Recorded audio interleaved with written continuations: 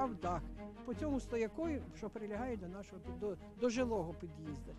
У цій п'ятиповерхівці в селищі Макарів Алла жила навіть після того, як сусідній під'їзд зазнав ударів з ворожої артилерії.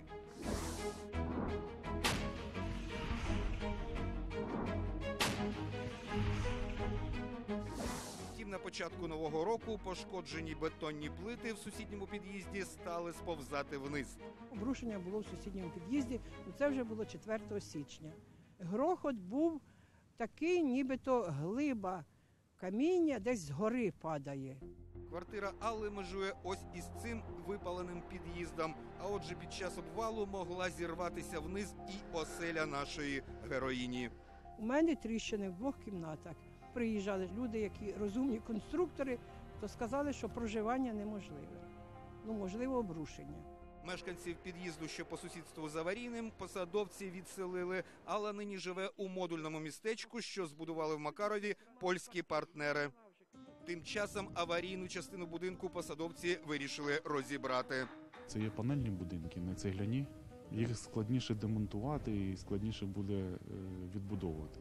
Демонтаж частини будівлі чимось схожий на хірургічну операцію. Аби відрізати зайве, потрібні ось такі величезні гідроножиці.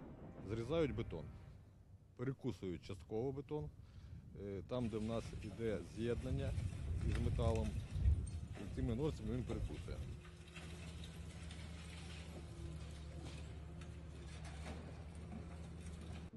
Операцію з видалення аварійного під'їзду торік у грудні пережив ось цей сусідній будинок. Зараз майстри його укріплюють, накладають на стіни сталеві шви-швелери.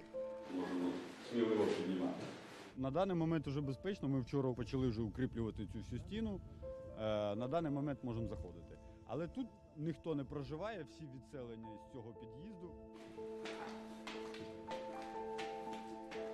То напрямок Бородянки. Вони всі йшли відтуди. Криші були побиті всі. От той будинок був ушкоджений, он той дуже побитий. Пошкоджено дуже багато. Олександр, як ніхто зацікавлений у збереженні будинку, який зараз відновлює він і сам у ньому мешкає.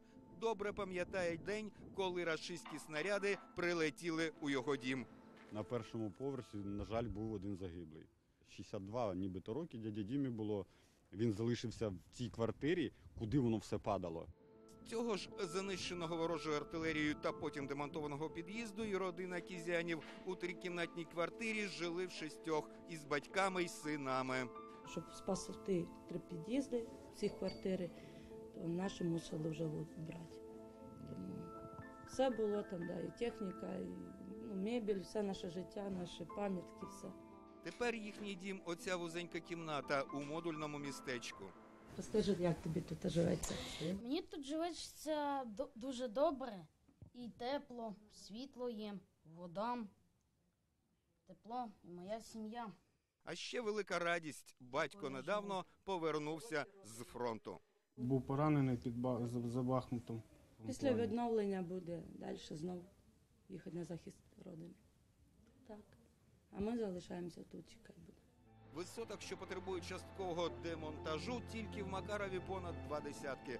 На всі роботи потрібні шалені гроші. Посадовці порахували розібрати лише один під'їзд та укріпити сусідній обійдеться приблизно в 10 мільйонів гривень. В Макарові були окуповані е, два мікрорайони. Е, Це орієнтовно десь до 15% е, території самого Макарова. 65 багатоквартирних будинків зазнали ушкоджень.